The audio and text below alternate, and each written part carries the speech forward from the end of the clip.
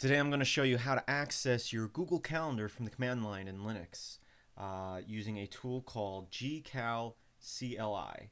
Uh, so first thing you have to do is install gcal CLI using the sudo aptitude install gcal CLI which stands for Google Calendar command line interface.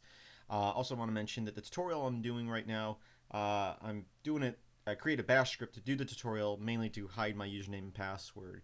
Um, so that's why I'm not actually typing out the commands like I normally do.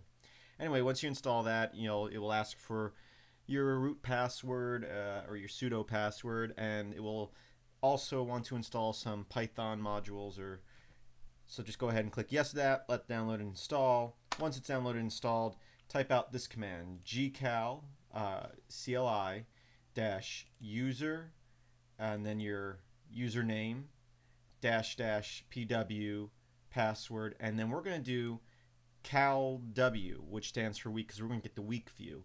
Now, you do need a Google Calendar account for this to work, uh, obviously. So go ahead and hit enter on that, and you will get a week view of all your calendars. Now, another command that you can run, very similar, is same exact thing except for instead of CalW, we do CalM at the end, and that will give us a month view.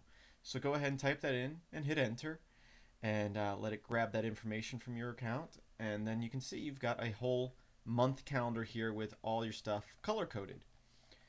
Uh, next, we're going to look at how to add something to the calendar quick and simple. So we're going to do gcal dash dash user, your username, password, and then quick for quick add. And then you can just type something like inside uh, single quotes or double quotes. Record another, or whatever you want. You know, mine says record another bash video tomorrow at 4:30 p.m. And it knows to add. You can say Friday at 4:30 p.m. or Friday, and we'll put it at midnight on Friday. So you can be very, you know, just type it out like you're talking to someone and say the date and time or when. You can say yesterday, tomorrow, today, whatever. If you just put a time like 4:30 or 4 p.m. or 3 a.m. It will put it for today's date. So go ahead and we'll hit that. And then we'll run the calendar, uh, the week calendar again, and we'll see that we've added that. So once we've uh, added the quick add, we'll do our calendar command and we'll look at tomorrow and you can see right here at 4.30 p.m. it says record another bash video. So that is how you quickly add something to the Google Calendar.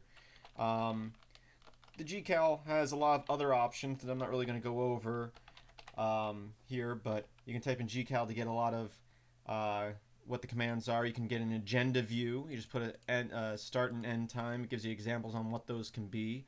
You can say from 8 a.m. to 4 p.m. or 8 a.m. till 5 p.m. and it will give you the agenda for that day.